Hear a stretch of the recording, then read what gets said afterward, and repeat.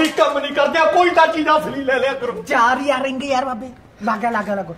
ਉਹ ਹੈਲੋ ਉਹ ਯਾਰ ਕਰੰਸੀ ਚੇਂਜ ਲੱਗੇ ਕਰਨ ਲੱਗੇ ਦੱਸ ਤਾਂ ਦਿੰਦੇ।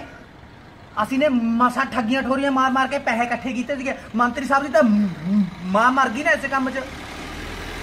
ਯਾਰ ਕਮ ਸੇ ਕਮ ਸਾਨੂੰ ਤਾਂ ਦੱਸ ਦਿੰਦੇ। ਫੋਨ ਕੱਟਦਾ। ਚਲੋ ਬੈਠੋ ਕਿਤੇ ਉਹ ਵੀ ਨਾ ਬੰਦ ਹੋ ਜੇ। ਚੱਲ ਸੇਠੀ ਚੱਲ।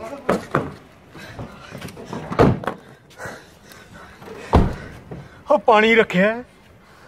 ਪਾਣੀ ਭਾਦਾ ਹੁਣ ਤਾਂ ਕੁਝ ਵੀ ਨਹੀਂ ਮਿਲਣਾ।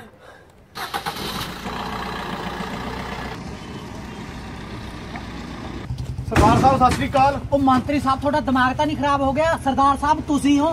ਉਹ ਚੁੱਪ ਕਰ ਯਾਰ। ਸਰਦਾਰ ਸਾਹਿਬ ਸਤਿ ਸ੍ਰੀ ਅਕਾਲ। ਸ੍ਰੀ ਅਕਾਲ ਜੀ। ਸਰਦਾਰ ਸਾਹਿਬ ਰੱਦੀ ਲੈ ਲਓਗੇ? ਹਾਂ ਰੱਦੀ ਲੈ ਲਾਂਗੇ। ਹੈ ਕੀ ਹੈ ਰੱਦੀ ਚ?